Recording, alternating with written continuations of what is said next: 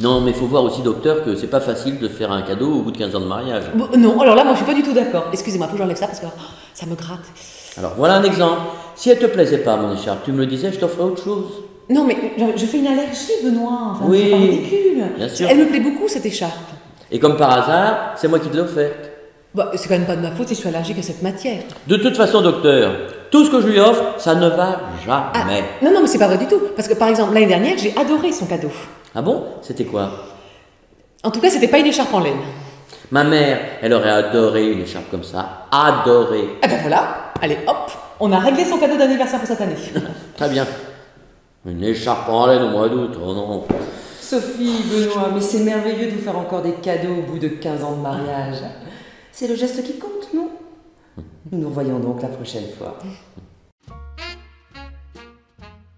Oui, donc tu la trouves pas assez bien pour ta mère, c'est ça? C'est moi qui l'ai choisi cette écharpe. Bah oui, pour moi.